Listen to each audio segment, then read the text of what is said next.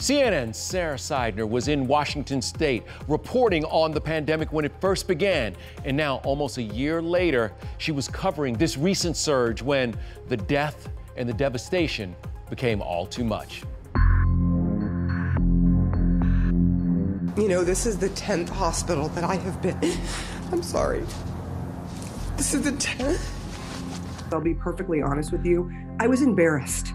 I couldn't stop myself and compose myself. I apologize.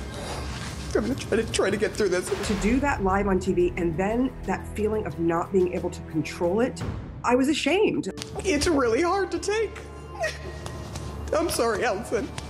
The 48 year old CNN correspondent has seen a lot over the past year, traveling around the country covering COVID, the death of George Floyd, social justice protests, and more. Her breaking point came while reporting the story of a woman who lost her mother and stepfather to the virus. The funeral for her mother was held in a parking lot.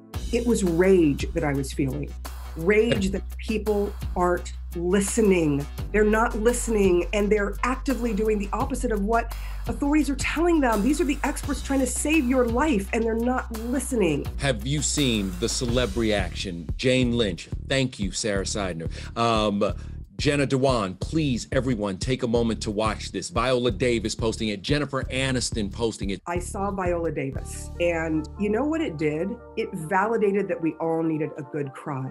And that was my first really good, deep cry that I have had in a really long time, especially since going in and out of these hospitals. Tracee Ellis Ross also showed Sara some love, sending her a surprise care package. This is the nicest thing.